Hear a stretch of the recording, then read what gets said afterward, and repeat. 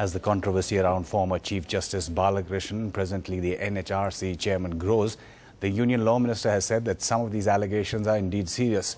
Speaking to NDTV, Mr. Veerappa Moily said that no formal complaint has come to his ministry or any other government department. Earlier this week, reacting to former Supreme Court Judge V.R. Krishna Iyer's demand for a probe into reports of uh, the former Chief Justice's son-in-law amassing unexplained wealth during his tenure as Chief Justice, Mr. Moily had said the allegations would be verified. Let's take the case, uh, Mr. Moily, which is uh, currently in the news, which is that of the former Chief Justice Balakrishnan. There are two separate instances now where his name is cropped up. One, of course, is connected to Mr. Raja.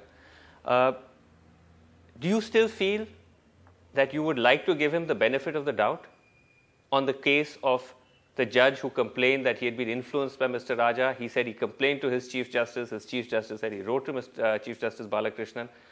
Chief Justice Balakrishnan denies it. But do you still want to give him the benefit of the doubt? It's not the question of giving a benefit of I, I must speak on records. Right.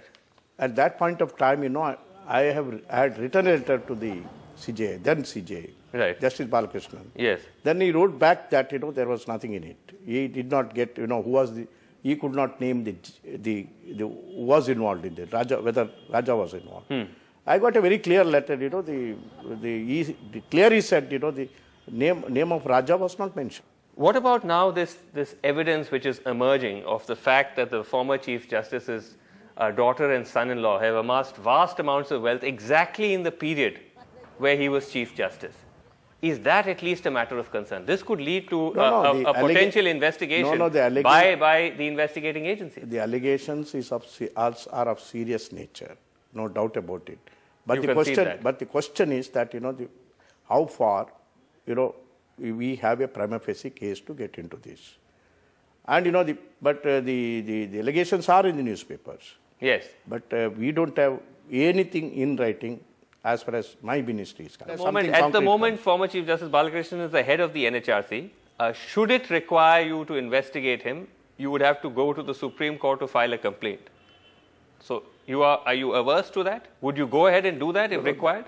No, we, you know, we will not be that. When, when it comes to the corruption, you know, we will not be averse to making investigation at a, whatever forum. You will not But be the question wanting. is, but the question now is that uh, the, nothing concrete has come to our ministry or to the any investigating agency. But at least what you see prima facie in the papers, it seems like a serious enough matter. no, no, of course, allegations are very serious in nature. They are very serious. I do agree with you.